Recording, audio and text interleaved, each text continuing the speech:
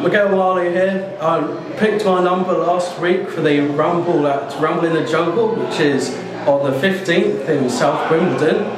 Make sure you've uh, found the found the page on Facebook.